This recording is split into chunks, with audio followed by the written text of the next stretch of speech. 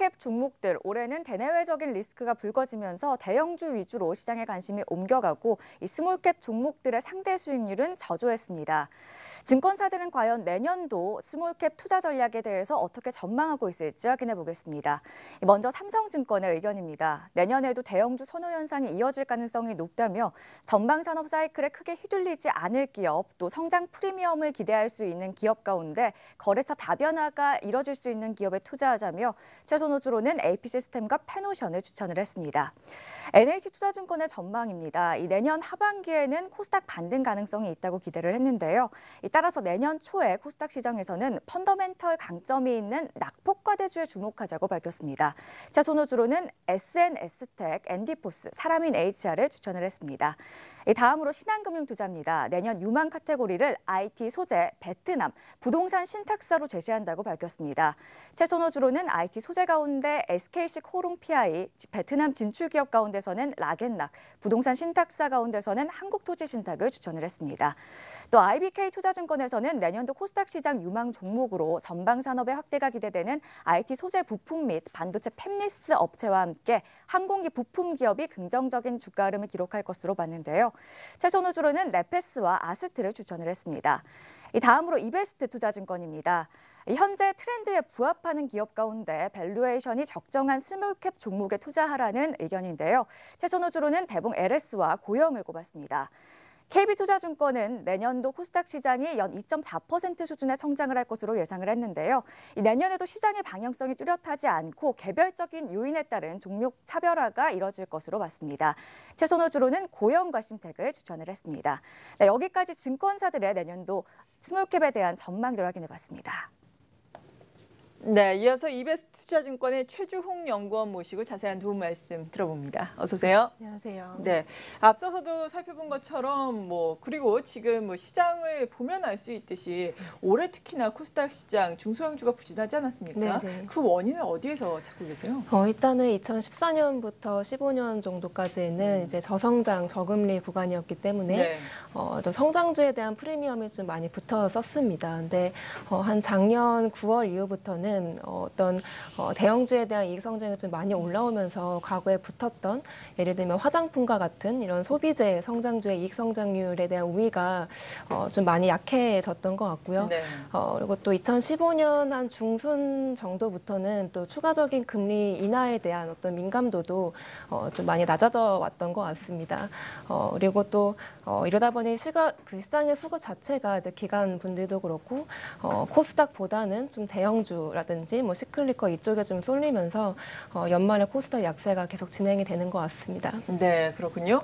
어, 코스닥 약세 진행되고 있는 이유에 대해서 들어봤고 어, 문제는 또 선진국 특히나 미국 시장과 온도차가 너무나도 크다라는 점 아니겠습니까? 네. 물론 미국 증시 전반적으로 지금 뭐 사상 최고가 경신을 하고 있지만 미국 증시 내에서도 러셀 2000, 뭐 중소형주 중심의 지수 역시 상당히 긍정적인 양상이잖아요. 예, 예. 이렇게 차별화되는 양상을 보이고 있는 이유는 어디 있을까요?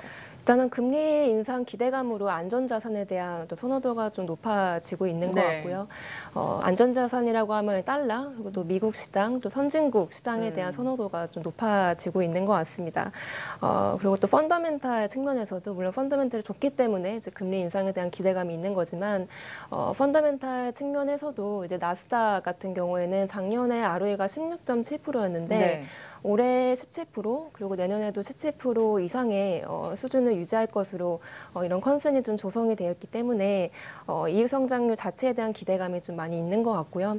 어, 그리고 또 미국 어, 소비 확대 가능성도 좀 조명을 많이 받는 것 같습니다. 반면에 이제 한국 시장 같은 경우에는 이제 신흥국으로 좀 분류돼 있다는 음. 점도 있겠지만 어, 국내 좀 정치적 이슈도 좀 문제가 좀 있을 것 같고요. 그렇죠. 그리고 또 코스피 대비해서 코스닥의 이익 성장률이 어, 작년 대비해서 사실 좀 많이 떨어졌던 것 같아요. 그래서 이런 복합적인 이유로 좀 온도 차를 보이는 것 같습니다. 네, 온도 차가 나타날 수밖에 없는 그런 환경이 조성되고 있는데 어, 이러한 가운데 연말까지 얼마 남지 않았지만 그래도 대내적인 기대감을 보자면 국민연금의 자급 집회가 아니겠습니까?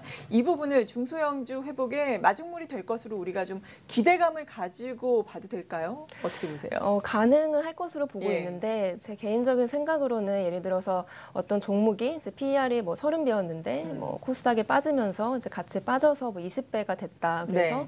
어, valuation이 좀 싸다 이런 논리보다는 어, 이건 제 개인적인 사견이지만 예. 어, 종목 picking을 할 때 이제 PER 뭐 성장도 물론 보시겠지만 ROE 대비해서 PBR이 어느 정도인지 음. 그리고 어, EBITDA 그리고 어떤 기업이 보유하고 있는 순현금이 어느 정도인지에 대한 점검이 먼저 좀 들어갈 것으로 보고 있습니다. 네. 그렇다면 말씀하신 기준에 좀 부합하는 유망 종목들, small cap 종목들은 어떤 것들이 있다고 보세요? 어, 일단은 그 한 해를 주름 잡는 항상 그 트렌드가 있잖아요. 아, 그 네. 트렌드를 이제 저희는 이제 주도주라고 하고 이제 개인적으로 봤을 때 이제 주도주를 하거나 아니면 주도주 내에 있는 어떤 종목을 해도 연간적인 수익률은 많이 나올 수 있다고 보고 있는데 음. 어, 사실 작년 초만 해도 이런 거에 대한 윤곽을 좀 많이 잡혔었는데 네. 어, 어, 작년 말에도 이제 그 다음에 주도주가 무엇인지에 대한 고민도 많이 해봤는데 음. 올해는 솔직히 저도 잘 모르겠습니다. 아, 근데 예. 지금 수준에서는 일단은 올해 IT 장비주가 좋았지만 어, 내년 하반기는 솔직히 모르겠지만 내년 음. 상반기에는 어, 수주 모멘텀이 또 있고 어, 그리고 또 실적에 대한 기대감 그리고 또 valuation이 저평가된 IT 장비주 위주로 어, 갈 가능성이 있다 이렇게 보고 네. 있고요. 어, 대표적인 저희 커버리지 종목 중에는 이제 동아이텍 같은 경우에는 어, 북미 A사로부터 이제 비싼 검사 장비를 본사로부터 수주를 어, 2015년부터 어, 좀 받기 시작. 을 했고요. 어, 또 선익 시스템 같은 경우에는 지분율이 지금 70% 정도 되는데 증착 장비 하는 업체입니다. 그래서 어, 이런 OLED 증착 장비에 대한 수주 기대감도 있기 때문에 어, 동아엘텍 좋게 보고 있고요. 네. 어, 화장품 같은 경우에는 지금 화장품 섹터 자체가 좀 derating 구간에 들어가 그렇죠. 있기 때문에 어, 그 좀 포함된 화장품 중소형주도 좀 많이 빠져 있는 상황입니다. 근데 어, 많이 빠져 있는 화장품 중소형주 중에서도 음. 어, 좀 개별적인 성장 스토리를 보유한 업체들이 분명히 있습니다. 예를 들어서 어, 대봉LS 같은 경우에는 천연 원료 소재에 굉장히 강점을 가진 업체인데 음. 어, 고객사에 대한 그 수요가 계속 늘고 있어서 이제 capa 증설을 단행을 했습니다. 이게 내년부터 좀 반영이 되고 어, 또 성장성도 이게 capa 증설도 반영이 될 뿐더러 이제 어, ROE가 내년에 한18% 정도 예상이 되는데 네.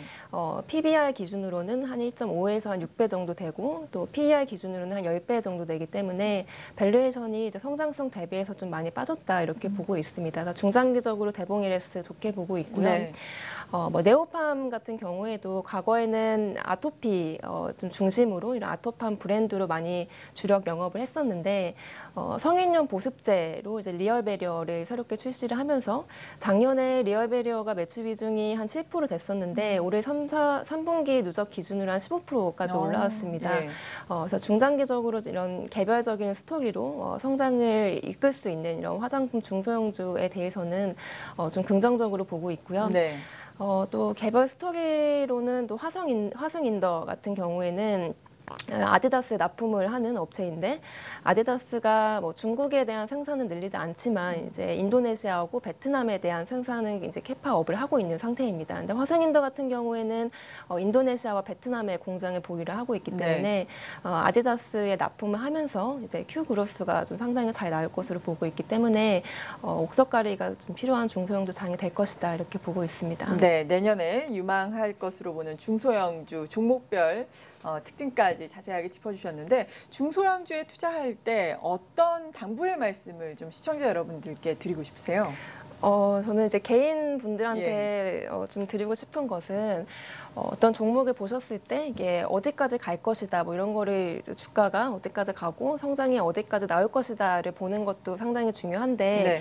이게 어느 정도까지 빠질 수 있는지에 대해서 아. 체크하는 것도 저는 상당히 중요하다고 보고 것 있고. 예. 예, 그 내년 장도 저는 만만치 않을 것으로 보고 있기 때문에 어, 하방에 대한 고민을 좀 많이 하셨으면 좋겠고요. 어, 그런 고민은 이제 뭐 ROE 대비 해서 PBR이 어느 정도인지 그리고 PER 기준으로 경쟁업체 대비해서 너무 높지 않은지 그리고 EBITA, 뭐 수년금 구조인지 등등 이런 종합적인 지표들을 좀 많이 고려하셨으면 좋겠습니다. 어, 그리고 또 개인적으로는 어, 중소형주 같은 경우에 네. 특히 이제 신사업을 한다고 하는 종목들 상당히 많잖아요. 맞아요. 근데 신사업을 하는데 만약에 실적이 잘 나오지 않는 경우에는 좀 주의하셔야 될 필요가 있다고 보고 네. 있고 또 사실 공모주가 과거에는 장이 상당히 괜찮았는데 중소형 공모주를 이제 장내에 매입하실 때에는 어, 보호예수 물량이 좀 있어서 그렇죠. 수급이 좀 안 좋은 경우가 있습니다. 그래서 어, 공모주가 1년이 안 됐을 경우에는 또 장내 매입하시고자 하는 경우에는 이 수급 체크를 반드시 하실 것으로 좀 어, 하실 것을 좀 추천해 드리고 있고요. 네. 어, 또 중소형주 같은 경우에는 이 그 오너의 마인드가 상당히 중요하기 때문에 어, 지분율이 너무 낮지 않은지 뭐 그리고 실적이 매분기 너무 미스하는 것이 아닌지에 대한 종합적인 평가를 하셔서 어, 좋은 투자 성공 이루셨으면 좋겠습니다. 네, 2017년 우리가 유망하게 볼 수 있는 중소형주 그리고 중소형주에 대해서 투자할 때 유의사항까지 꼼꼼하게 짚어주셨습니다. 이베스트 투자증권의 최주홍 연구원이었습니다. 고맙습니다. 감사합니다.